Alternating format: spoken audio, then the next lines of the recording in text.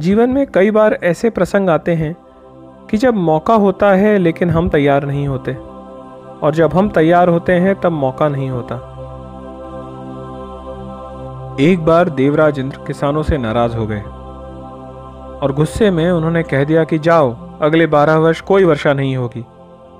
और जल नहीं होगा तो तुम्हारे खेतों में कुछ भी नहीं उपजेगा। ये सुनकर सारे किसान डर गए। उन्होंने तुरंत ही देवराज इंद्र के सामने गुहार लगाई। हे भगवान, ऐसा ना करें। हम आपसे दया याचना करते हैं। किसानों की याचना सुनकर देवराज इंद्र बोले, कि मैं अपने शब्द वापस नहीं ले सकता। किंतु अगर तुम सब भगवान शिव से प्रार्थना करो, और अगर वो तुम्हारी विनंती को मान देते हुए अपना डमरू बजा दे तो वर्षा हो सकती है।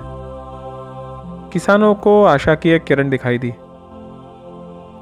किंतु इससे पहले कि किसान भगवान शिव के पास पहुँचते, इंद्रदेव अपने ऐरावत की सवारी करते हुए भगवान शिव के पास खुद ही पहुँच गए।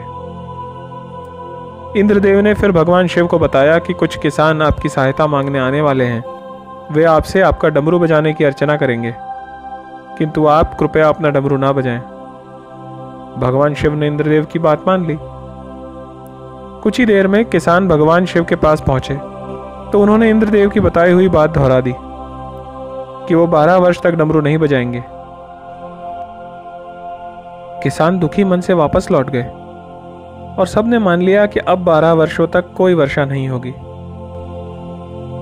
सभी किसान हाथ पर हाथ डाले समय काटने लगे, सिवाय एक किसान के।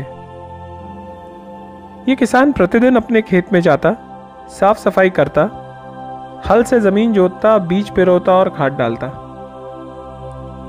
ये सब देखकर बाकी सारे किसान उसका खूब मज़ाक उड़ाते। लेकिन उसने अपना काम सुचारू रूप से जारी रखा। तीन साल बीत गए। आज भी उसके खेत में कुछ अंकुरित नहीं हुआ था। ये देखकर बाकी सारे किसानों ने उससे पूछा, तुम्हें मालूम है ना कि बारह वर्षों तक कोई वर्षा नहीं होगी? ये जानते हुए भी तुम क्यों अपनी शक्ति व्यर्थ करते हो? तब उसने उत्तर दिया, मैं जानता हूँ। कि कुछ भी अंकुरित नहीं होगा। लेकिन मैं ये सब अभ्यास की तरह कर रहा हूँ, ताकि बारह वर्षों बाद मैं कृषि की प्रक्रिया को ना भूल जाऊँ।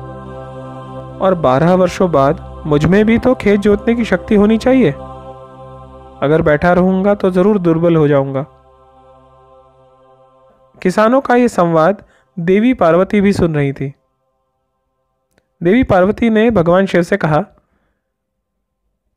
हे hey प्रभु ये किसान तो सच कहता है। अगर आप भी बारह वर्षों तक डमरू नहीं बजाएँगे तो ज़रूर भूल जाएँगे। यह सुनकर भोले भंडारी भगवान शिव देवी पार्वती को त्वरित ही डमरू बजाकर सुना देते हैं और पृथ्वी पर वर्षा हो जाती है। उस किसान का जिसने खेत को निरंतर जोता था और बीज बोए थे, उसको बहुत लाभ होता है और बाकी के किसानों को इस वर्षा का कोई फल नहीं मिलता और वो दुखी हो जाते हैं।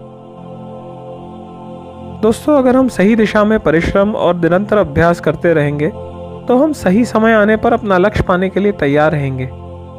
हमारे बड़े हमेशा कहते हैं ना, मेहनत तुम्हारे हाथ में है, लेकिन समय नहीं। जब सही समय आएगा तो तुम्हें तैयार रहना होगा। समय तुम्हारे लिए या किसी के लिए नहीं रुकेगा। आज के जो हालात हैं, उन्होंने हम सभी को तैयार होने के लिए एक मौका दिया है। समय दिया है। तो हमारा कर्तव्य है कि हम सब अभ्यास करें, तैयार रहें। ताकि जब मौका आए, तब हम पूर्ण रूप से उसका आनंद ले सकें, अपना सर्वश्रेष्ठ दे सकें।